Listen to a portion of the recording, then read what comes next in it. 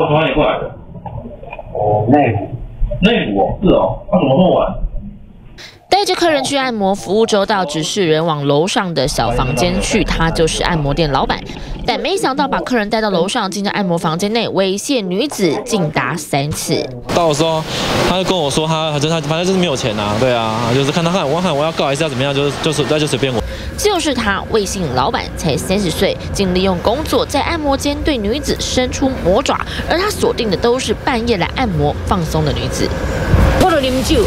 你看，讲讲，我就讲啊，我都调那个按摩惯洗啊，的啊，那就放松，眼睛闭着就让他按按，按到最后，他说把那个弄进去，到后来就就不跟他。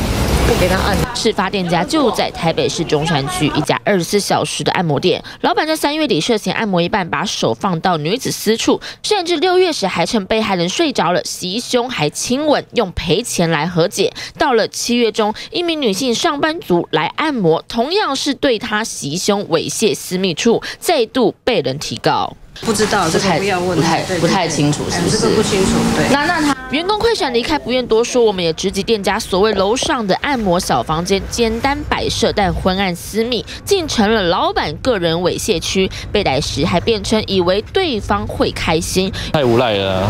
对啊，那种没有遇过这种的。